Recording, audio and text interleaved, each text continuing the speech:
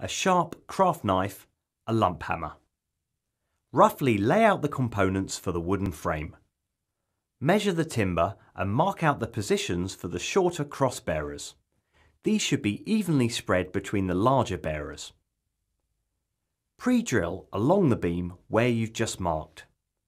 Check your instructions for the number of screws that you'll need as it may vary between shed sizes. Now screw the framework together with the 90mm screws provided. Move your base to where you want your shed to stand. Using a spirit level, find the highest corner of the finished framework. With the lump hammer, drive one of the metal stakes into the ground at this point. Once the top of the stake is below the top of the wooden framework, pre-drill and fix the two together with the 50mm screws provided.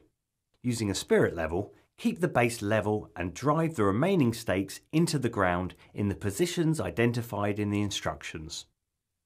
Your base is ready, so now you can get on with building your shed. Before you start, check through your instructions and familiarise yourself with all your shed components. Position your shed floor onto the wooden base. Although not essential, we would recommend fixing the floor to the base with 100mm galvanised screws. Firstly, if the doors of your shed are not pre-hung, Put the door end on the ground face upwards.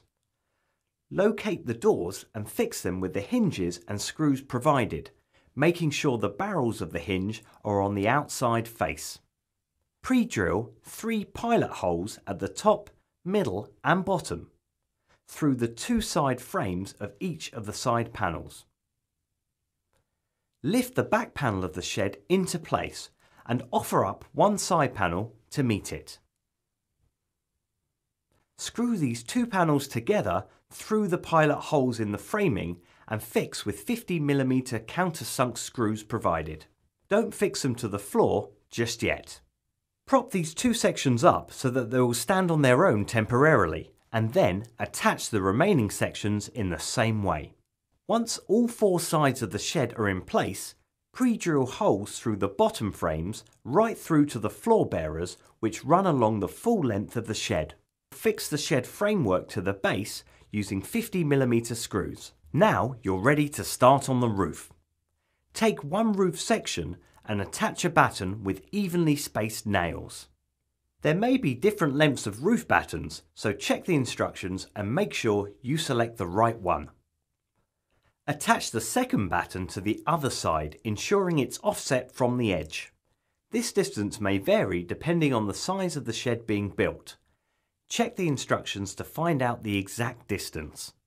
Now, repeat this process with the other roof panel. Take the two shorter roof battens and fix the Z brackets to each end with 35mm screws. Take these battens and fix them to each gable end about halfway between the ridge and eaves, checking the exact location in the instructions. Take one of the roof sections and lift it into place locating the offset batten into the notches in the top of each gable end. Fix them to the sides and gable ends with 30mm nails. Lift the second roof panel into place and fix it in exactly the same way. Roll out the roofing felt and cut it into three equal lengths using a sharp craft knife. Lay the first piece along one of the roof sections with an equal overhang at both ends and about 40 millimeters overlap at the eaves.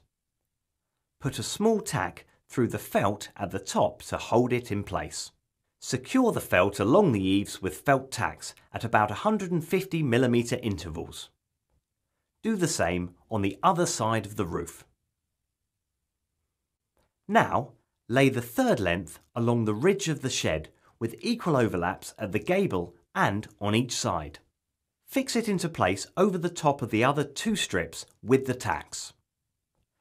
Tidy up the corners around the edge by folding and tacking where necessary.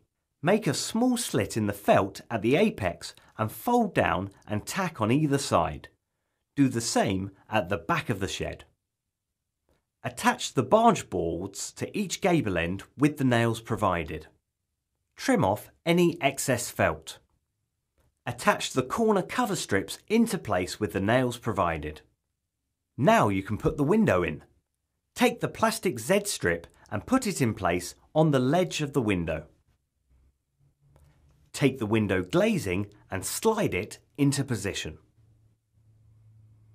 Fix the beading around the window using 25mm glazing pins. Lightly score around the window and remove the protective film from the glazing. Finally, fix the door fastener or bolt for the door.